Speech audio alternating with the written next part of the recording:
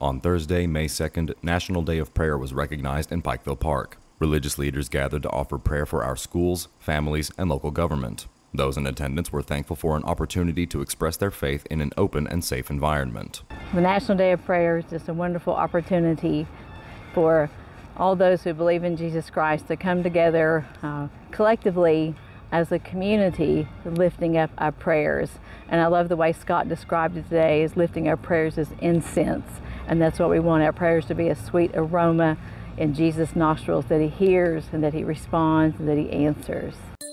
Appalachian Wireless, where your connections matter the most. Right now, get up to $550 off select devices on new or renewed line with the Appalachian Unlimited or Mix and Match plan. Offer good in store only. We are you.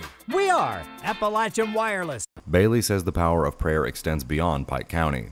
The prayers given today were for those in other communities facing the same issues. We're not just praying here in Pike County, we are praying all across the United States of America, and we are collectively praying about the same topics of prayer across this nation. And I do believe there is power in prayer when we are coming together in unity, crying out for the same needs. Doesn't matter if you're in Pike County, Kentucky, or if you're in the heart of the biggest city in the United States of America. You know, we have these same needs. Our communities look different, but our needs are the same, and we're collectively calling out to the same God to help us meet those needs. Reporting for Mountaintop News, I'm Nick Collum.